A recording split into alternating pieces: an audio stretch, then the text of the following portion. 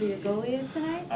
I'm not going to give you a lineup tonight, sorry. No, not tonight. You'll find out in an hour and a half. Is that because there are changes? or- There's quite possible. If you just played that a couple days ago, Yep.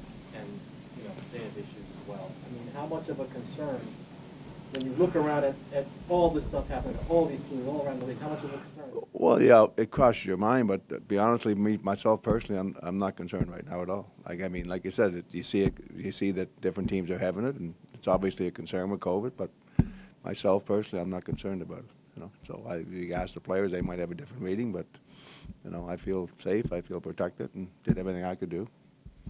But you, you, I guess, the way I was thinking more, like, you just played against these guys, and maybe your guys went up against, you know, like. Yeah, no, it's never crossed my mind, to be honest with you, Colin.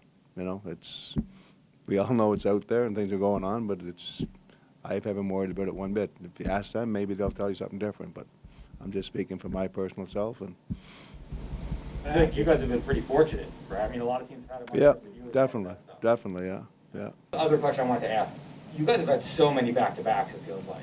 Is that something that you feel like as the season goes on, you get better at learning how to deal with that? Because, I mean, teams obviously can be tired for the second. Uh, yeah, I don't mind back-to-backs. Uh, Back-to-backs are tough when you have three in less than three weeks. That's when they're really tough, and they, and they wear you down. Obviously, the amount of games we played. So I don't mind back-to-backs usually, but we've had a, quite a few of them the last, well, it's three in less than three weeks, is it not? Yeah. You know, It so that, you guys have a ton of yeah, they catch up on you for sure.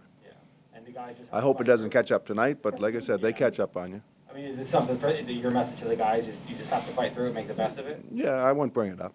You know, I wouldn't, I'm not going to bring it up in our meeting. Just keep playing. We played a good hockey game last night. Let's continue that same trend, and we'll win more hockey games than we lose.